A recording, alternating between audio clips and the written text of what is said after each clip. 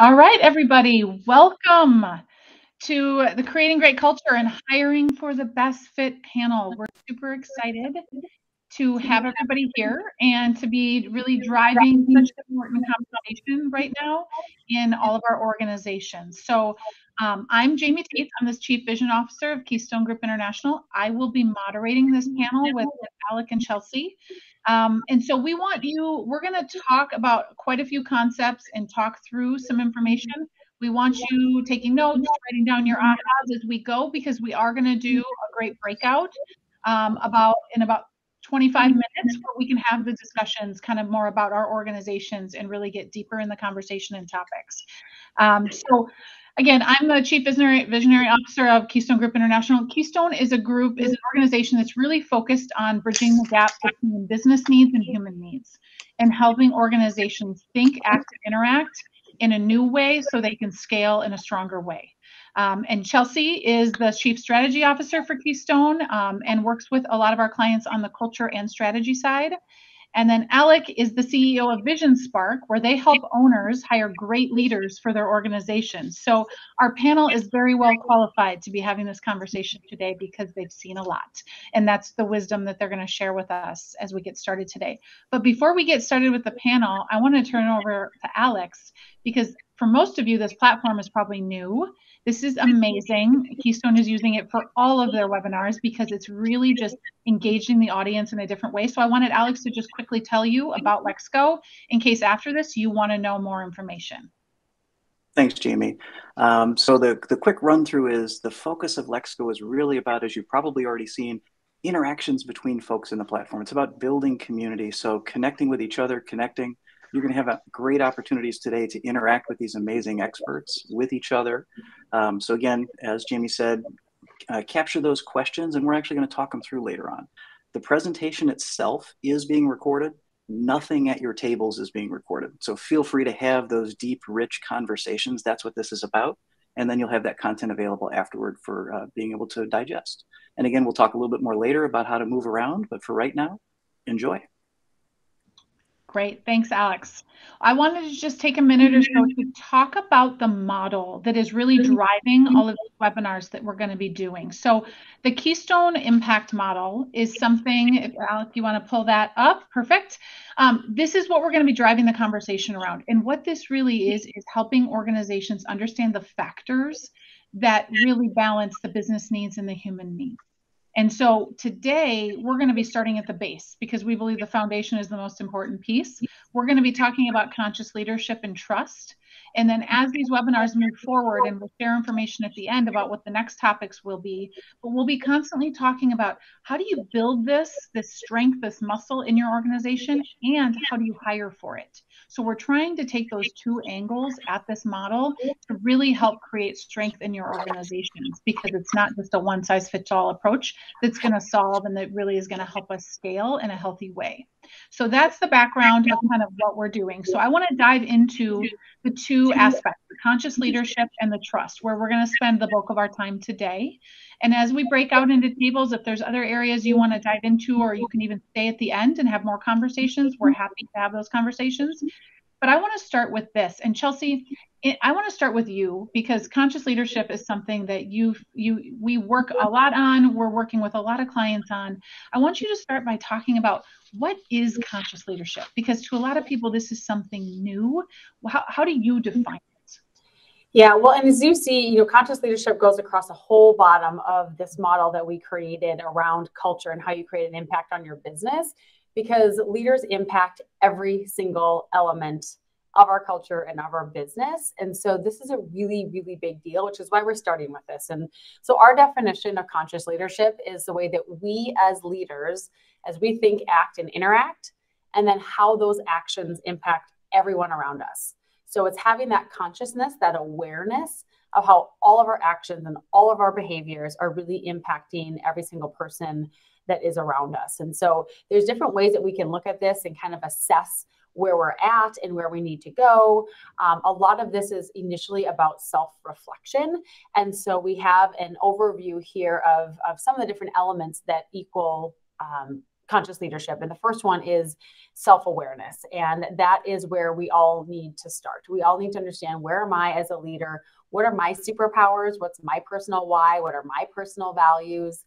Um, and everyone really needs um, some outside input on this and a coach to help kind of push us and dig into, you know, why are we feeling the way we're feeling? Why are we acting the way that we're acting? So that self-awareness piece is is a really big aspect of conscious leadership, and that's where it has to begin.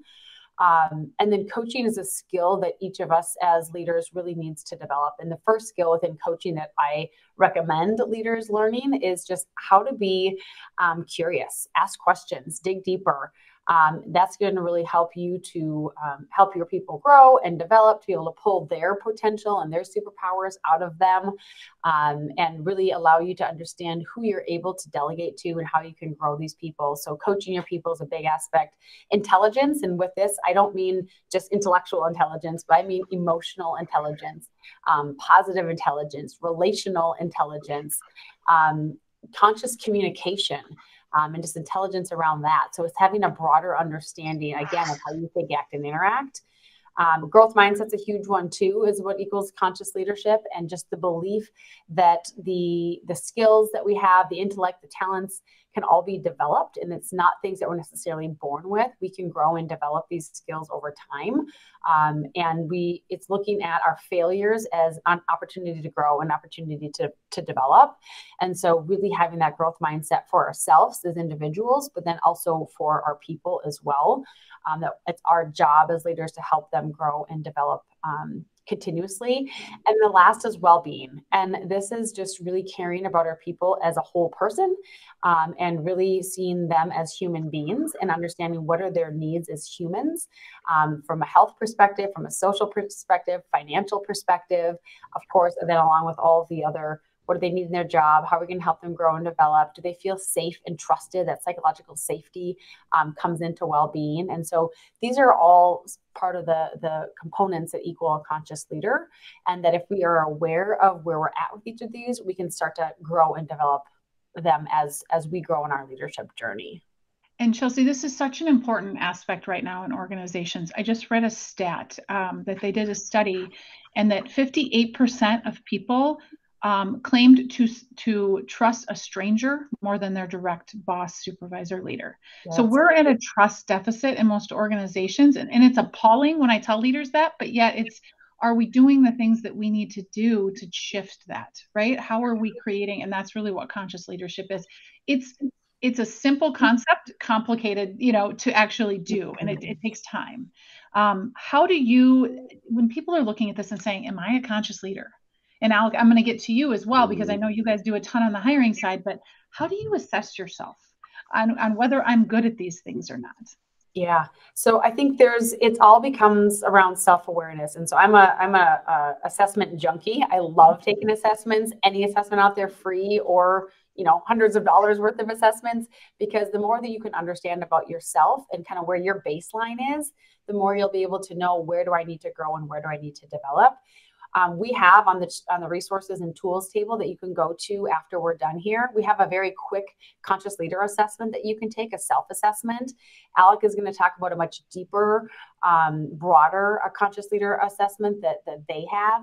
Um, so it's really just digging in and understanding where you're at. As I said, getting that feedback from an outside resource or doing like a 360 review on your for yourself and you know partnering with your hr team or an outside resource to do 360 reviews to get feedback on how do your people seeing you? How do they think you're thinking acting and interacting with them? And, and that'll help you to gain that kind of whole perspective not just from where you think you're at but from where your peers your direct reports um, think that you're at as well I love that. We were having a conversation at our table at the beginning about some of these great programs and leadership development, emerging leaders. Mm-hmm. And the message here is is you want to get this and start teaching this before you actually need them to be leaders. Yes. And that that's an important thing. And then the other complicating factor, and Alec, I want to turn to you because we have so many clients that struggle with people can interview really well.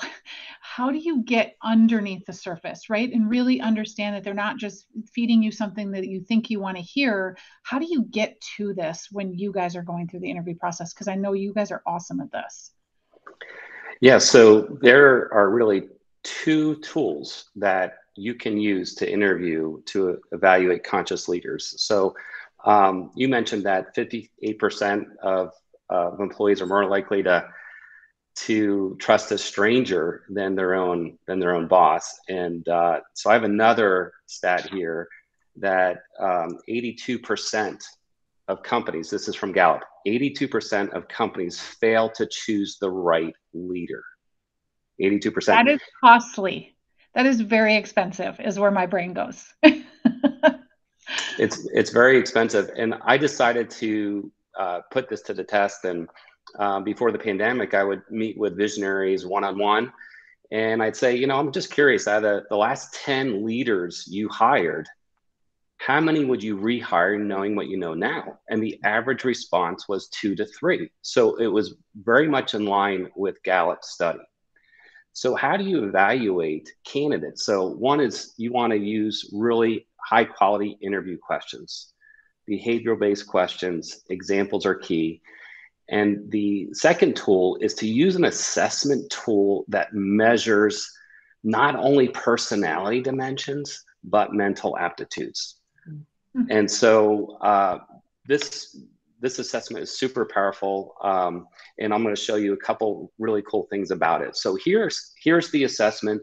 There's lots of information on the page. The brackets that you see in the middle um, are brackets for uh, a COO, an EOS integrator, uh, number two in the company, and we want to see scores in those brackets. So that gives us a really good indicator if someone's going to be successful. So uh, with what we're talking about today, conscious leadership, there's a couple dimensions that I want to highlight. And the first one is emotional development. So this measures someone's um, tolerance for themselves and others. So if someone scores low in this area, they have a high sense of urgency and they're very impatient with themselves and with others.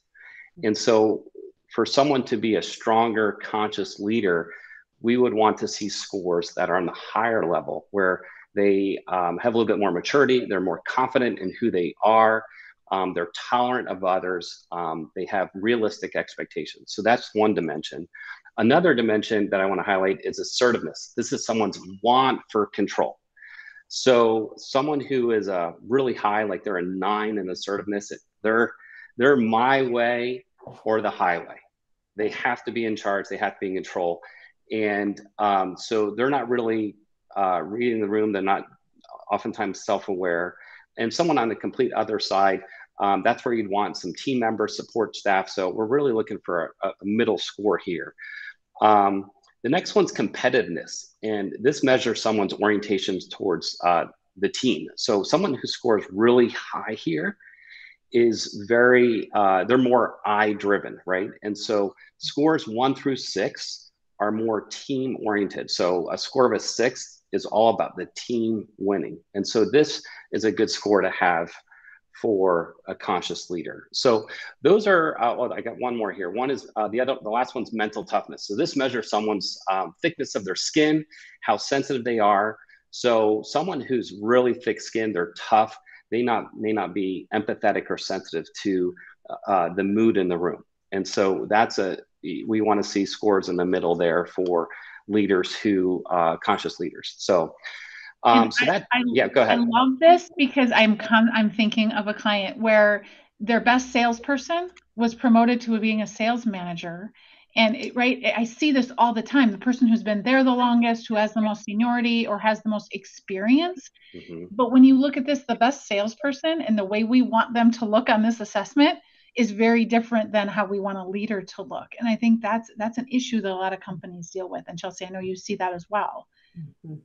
And so an assessment like this helps with those brackets right helps us stay true as the owners and the, the people who are hiring to not i like the person and i know they can do awesome things and produce here but their skill set isn't the right skill set for this seat. It might be for another seat. Yes, and using an assessment will take your instinct and gut out of the equation in terms of making that successful hire. You know, you really want to rely on the data, and um, so yeah, so there's there's uh, assessments are a great way to really learn of someone's core behavior, not learned behavior, but core behavior. So you talked about the interviewing too. How, how do you how do you interview for these? Right? Like are there specific questions? Because I also find that a lot of clients they're using the interview questions that they used 10 years ago and right that is not a piece that's really evolved very well and i think it's a super simple inexpensive way to really ramp up your your hiring.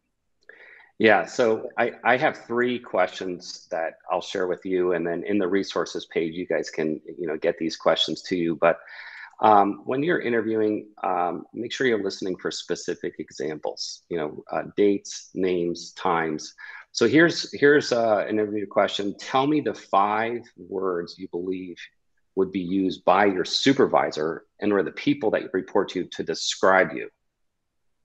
And then a follow up to that is give me examples as why you chose those words. Okay, so that's that's a question. Um, another one is the the way a leader makes people feel is true measure of their impact. Please tell me how you treat your team members uh, follow up to that, if you could listen to one of your team members talking at the dinner table with family members, what would they say about you? So those those are really thought provoking, some different questions. Uh, and then the last one, um, it's a feedback question. So how much feedback and in what form do you like to get from people you report to and those that report to you? Now tell me about some feedback and the source you've received recently. So those are different interview questions. Um, they're unique. Um, it's really gives you a sense of the uh, person, uh, their learned behavior, and you can evaluate that with with the assessment tool. Whew, those are some serious questions. Like I'm like sweating, like, how would I answer that? this is good because back to Chelsea's point, this is driving the self-awareness. Mm-hmm. even how I answer it, like that's a really great question. Like, let me think about that. It's right that true person is going to come out. So I think these are fantastic. So by doing these things we've talked about, by that self-awareness, right, we're going to move to that idea of trust. So we talked about conscious leadership. Conscious leadership actually creates trust. So yeah. Chelsea, this one is a super nebulous thing right? Mm-hmm. A lot of mm-hmm. companies think they have it, but they don't actually know what it means. So, talk to us about how you define this. Yeah. So the reality is that trust is the cornerstone of our culture, of our leaders, of really any relationship that you have, whether it's it's professional or personal. I think we all know this, and that's not a like, oh, shocker, Chelsea. trust is important, but it truly is the cornerstone of it, and that's what we have in our model. It in the corner of of the whole thing because it connects all the different pieces, and it's really hard to start talking about performance development or how to have more intentional communication or how to hold someone accountable if you don't have this foundation of trust. Um, and so when we talk about trust, what we mean by that is that there is strong psychological safety, which is a basic human need, um, which is understanding or, or believing that you're not going to be punished or humiliated for speaking up with your ideas, speaking your mind, sharing your concerns, admitting your mistakes. Um, that's psychological safety, um, mutual respect. And so, just true belief that everyone has valuable contributions that they can add to, to the group. And as leaders, we're seeing that in our people and then seeing the different attributes as unique contributions that they have and then honesty which is just you know being truthful being sincere being candid um, that honesty is is a really important part to to building trust. So if we want to be honest with ourselves what are there are clearly symptoms that we think it's high trust right? We can go have a beer after work right? Or we we get along fine. How do we know below the surface the trust's not where we need it to be yeah, so there's quite a few things, quite a few symptoms that you can find with low trust. And the first one is if you see unhealthy competition and cliques starting to form, you kind of see the sub team bonding, kind of like Mean Girls, the movie Mean Girls, but you get that kind of a feel in the environment. Um, and if you see a lot of high turnover in teams, that's often because there's this high level of competition or high level of cliques that are that are happening within and around the the organization. Um, the second one is guarded communication. So people aren't being forthright; they're not being open and honest. Uh, people are kind of hoarding that information that they have and not wanting to share their knowledge with other people um, because there's low trust. And so people, it seems, are being very careful, calculated with what they say, who they say it to, when they say it that's certainly a sign of low trust. Um, mediocre work and not achieving our goals. um, people are just playing it safe. They're doing, you know, achieving the lowest output possible, not going above and beyond, not going that extra mile. Welcome back, everybody. We're going to do a quick debrief. It sounds like there was some awesome conversations at the table, so we want you guys to be able to share that with each other and those learnings. So, Chelsea, I'm going to kick it off with you with some of the discussion in your room. Yeah. Um, so Pat, uh, we're going to invite you up to stage here. If you just want to click the the hop onto stage there when you see that, that would be great. Um, and Pat had a really great just mixture of aha and just a good story, I think, to share. I think we all learn from each other's stories. And so if you just want to um, touch on Pat, your the, the trust and leadership and add in that layer of, of management and how that process went for you. Yes, uh, thank you, Chelsea. Um, I, my big aha moment was the 58% trust more of a stranger than they do their own supervisor um, our company has gone through some growth and you know we added a management layer a couple years ago eh, maybe more like 18 months ago. It wasn't always well received because there wasn't a management layer. There were some people which who left i believe which partly because of who the leaders chosen were and part of the great resignation. So i think there was dual factors there. But we implemented um, eos at the beginning of the year. We've just you know we're rounding at quarter two and we've been um, you know trying to get the right people in the right seat. And it and it seems like we are and it's we're hitting our rocks we're making it i told chelsea we just updated our handbook um, so that was a big step um, but i think you know people are feeling good and there is definitely a momentum going on here and a positivity that you can feel.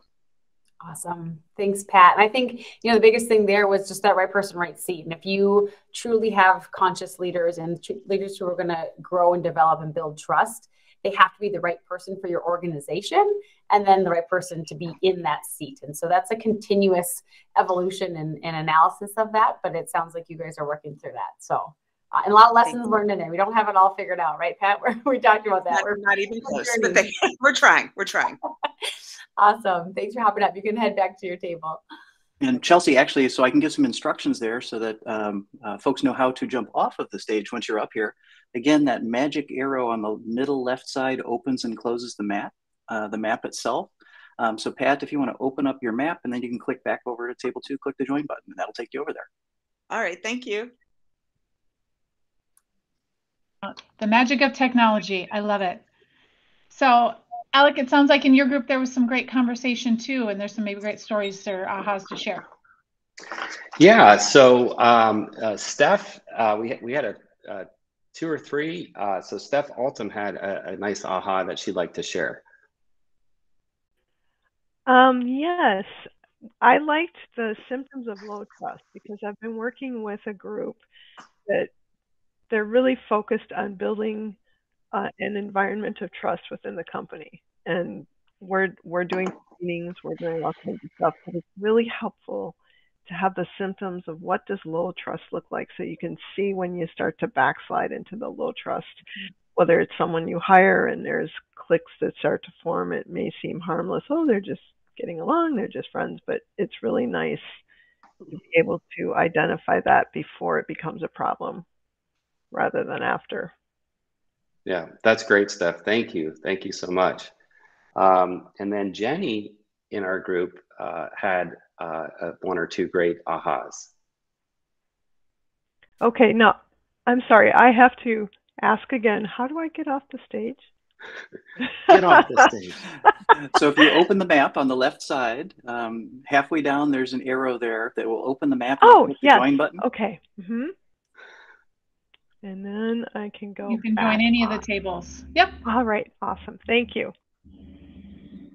Okay, so I had one. Um, so we're working with um, a, an outsource group as we're growing our company to help us with the hiring. And for me, it is to making sure that we're communicating with that um, company as we're doing that early stage evaluation before we're getting the candidates. We're working with the EOS process. So we've already are on the same page about culture and fit and our core values, um, but making sure that we're communicating down that the evaluation questions that they're using to um, screen the, the candidates that are coming in and push up to us are just as intentional um, and are including this piece as we're looking for those leaders. Um, because we definitely want to use that on our and that, and that mid-level tier to move people forward but we want to make sure that those right people are even getting through the door. Yeah. Jenny that's that's great. Um, harvard business review they did a, a long study and they they looked at super successful candidates and what made them really successful they looked at their education their experience industry knowledge and the number one ingredient for someone's success was fit in the organization. That's what it came down to. So cool and grace how, and how they're onboarded right? The, the, the intentionality of once we have them in the door mm-hmm. how do we onboard them right? I've seen st- statistics on if someone has a three to six month onboarding plan that's really structured they're 75% mm-hmm. more likely to be with you right? Three years yeah. down the road. So it, it's setting them up for success. Once we get them in the door so that they're not coming in the front door and leaving out the back and and yeah. we're able to retain them. And we say at vision spark the hiring process doesn't stop once the person walks through the door. You know that onboarding process is so important and so many organizations don't want to spend any time with the people they just hired. And you, you know you just spent thousands of dollars in the process and and you're gonna just let them work on the Penske file. That's a Seinfeld reference there. But um, the, the best analogy I've heard for this is you wouldn't just get married and then never focus on each other ever again, right? You wouldn't just get married and then stop your conversation, stop your date night, stop hanging out, right? So it's the same thing when you bring someone on board. Like treat it like a marriage. That you need to build this relationship, build this trust, connect with one another consistently. You don't just do it for the first three weeks, four weeks this is an ongoing thing that we need to keep going on to build and keep that relationship strong. It's not a checkbox, right? Mm-hmm. It, it, it's a process that we need to go through. I mean, you'd be shocked at the, you probably wouldn't be, Alec, but um, the number of companies where we're like, well, did we just throw them in the deep end of the pool with no swimmies, like no little floaty things? Or did we actually help them ease their way into it? And it's shocking the number of people that just bring somebody on a couple of days and then they're off doing the job right? We yeah. haven't even we haven't even created the sense of belonging with the organization which is a huge cultural element mm-hmm. right? They're just a person doing a job very transactional versus a, a part of the culture. Yeah. I think is really important. Um, and i don't know if we have time for one more aha um, but um, uh, uh, let's see uh, who did i say? Haley um, in my group. Haley eckert had a great aha. Hello. um, yes, so we can you all hear me? Mm-hmm. Um, so one thing that I just thought was um, mind-boggling was the um, statistic around 58% of uh, employees w- would trust a stranger over trusting their um, boss manager and this whole trust deficit uh, is really quite concerning. And so i think we've excelled at the cultural fit and hiring for um, and hiring in that regard but then it's the constant conversation and ensuring that you're in alignment with employees. And so uh, even beyond the onboarding, but just that those check-ins and making sure that um, you're meeting their needs, uh, both personally, professionally, um, so they stay satisfied is is incredibly important and helps helps build that that trust. Yeah, I love that that that stat is is shocking to everybody. Maybe we should have just called the whole thing that, and that would have been like, I mean, it's appalling, and it right, but it, it's so true in so many organizations. Hopefully, mm-hmm. not a lot of the organizations on here. Um, but I want to I want to start to kind of wrap us a little bit here, and we're going to stick around if you want to go. We'll tell you how to get to like to talk about this further, and if there's more support that we can provide you. Um, but really quick, um, we're gonna our next episode of this webinar is going to focus on yet another of the two building blocks. We're going to talk about strategic vision and purpose but really how do you tie the two together? Because we can have a really great strategy that does not bring people into the purpose of our organization. And how do you drive that vision and that purpose all the way through the organization? So that will be our next um, webinar that we do on that. Um, alex do you want to kind of tell everybody what they're going to do and how they're going to get to the post discussion if they want to be at the table of experts Absolutely. Um, so we have some amazing experts here with us today who are uh, just dying to talk more about any questions, whether they're the material from today or otherwise. Um, so you'll see if you again open the map, that's that magic arrow that on the tab that opens and closes. Uh, there's three tables at the top where you'll see the uh, the folks from Keystone and Vision Spark hanging out. Where hit them with the questions, hit them with the hard questions, the interesting questions. Um, if you met some folks today that you want to continue your conversation with, space doesn't go anywhere. Hang out. Feel free to invite somebody over to another table. Uh, if you'd like to know a little bit more about this platform, uh, Jay and I'd be happy to share that. Before you go, make sure that you do. Don't click yet make sure you click the join button over in the resources and tools table. That's where you'll find a number of takeaway assessments and tools that the, these folks have put together for you. So please make sure you do that as well. And we're all looking forward to talking with you. So come join us at those tables at the top of the map, or again, meet some great new best friends. Thanks, everybody.